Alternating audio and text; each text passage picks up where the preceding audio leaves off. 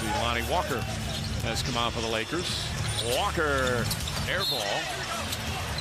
Here's Andre Iguodala, just his fourth game of the season. He's dealt with a hip injury. As Lonnie Walker gets inside, shot won't go. Gabriel the rebound. Schroeder and Lonnie Walker are going to have to really make plays. Gabriel gets into the paint, cross the lane, flips it up and in. Nice move from Wenyen Gabriel, who has at times gives you or doesn't give you motivation. Like, guess what?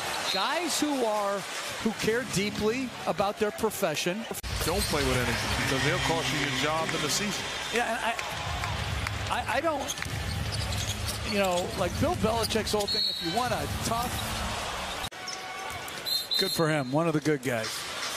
Amen. Lonnie Walker. Running the floor is Walker. Tries a three. It's been a big part of his life in the game of basketball. From Saginaw, Michigan, as Walker knocks down the shot.